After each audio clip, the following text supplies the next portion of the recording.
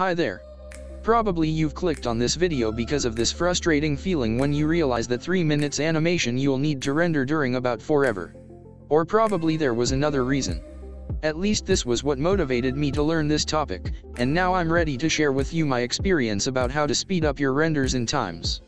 In my case it was almost 17 times faster. So let's dive into it. I have this artwork that I created few months ago, and I'm going to show all tips on this artwork, so we'll see exact results, instead of some abstract thoughts.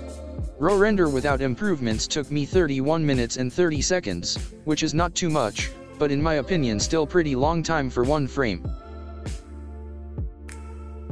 The first thing that I've done here is I baked this procedural stone material into 2K atlases with diffuse and height maps.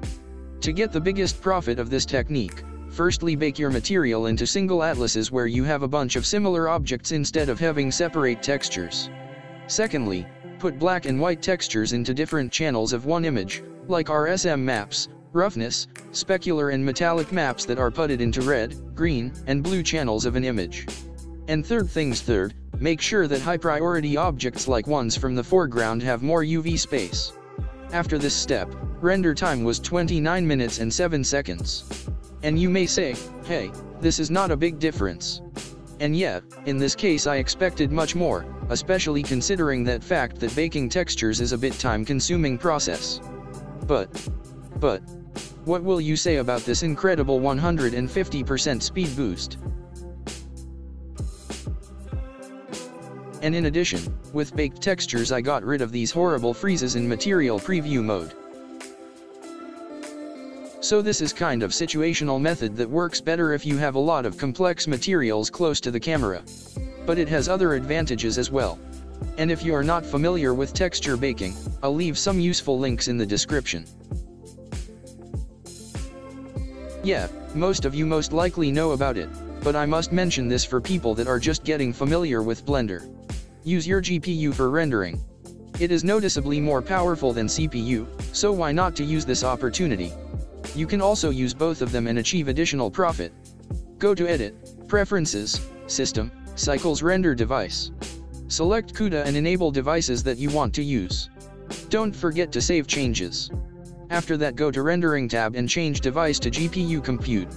After that I've got 22 minutes and 20 seconds with GPU, and 15 minutes 28 seconds with both devices. Be careful with the next tip cause you'll lose quality if you go too far with it. The point is to reduce calculations like samples and light bounces. The most powerful setting here is amount of samples. This is how many times render engine will calculate each tile. So if you make this amount twice smaller, you'll have twice faster render. And this works for any percentage. I may shock a lot of people now, but yeah, I've set samples amount to only 32 and it worked just fine with denoise added in the compositor. But consider that fact that with such amount you may lose some small details. Or you may not, it depends on your scene. And again but, there's absolutely no any logical reason to set samples amount higher than 1000. You will not notice any difference. To my experience it's best to use something between 128 and 512 samples for rendering an image, something like 32 samples for animation, and 8 to 16 samples for test renders. With shown changes I've got render after only 3 minutes and 56 seconds, which is almost 4 times faster just for changing couple numbers in the project. If you're a perfectionist and want to have each single pixel to be as detailed as possible, then try to show two renders to any another person and ask if he or she sees any difference. And after that ask yourself, do all these tiny details really worth all that rendering time? Especially in animation where you can't just sit and explore each corner of a frame. Here's same situation as for using GPU. People that keep hand on pulse know that Blender 3.0 was finally released few days ago. And with it we have Cycles X that made a huge step forward in rendering speed. But a lot of people may not know this. So if you haven't switched to the new version of Blender for some reason, so what are you waiting for? It's not alpha or beta, it's released and stable now. You can simply install new version and open your scene in it, and that's all you need to do. In case of this artwork the result was almost 2 times faster, 2 minutes and 10 seconds. But for you this change can be even bigger. For example, I tested another artwork and with Cycles X it rendered more than 4 times faster.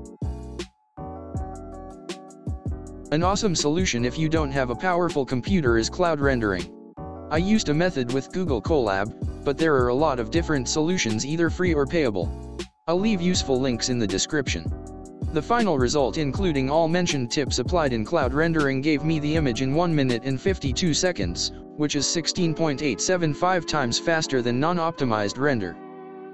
I'm not a master and don't know everything, so I'll be thankful if you share your experience in comments below. Also please leave a like if this video was useful and feel free to ask question in comments, I'll try to answer them as fast as possible. Good luck with your art.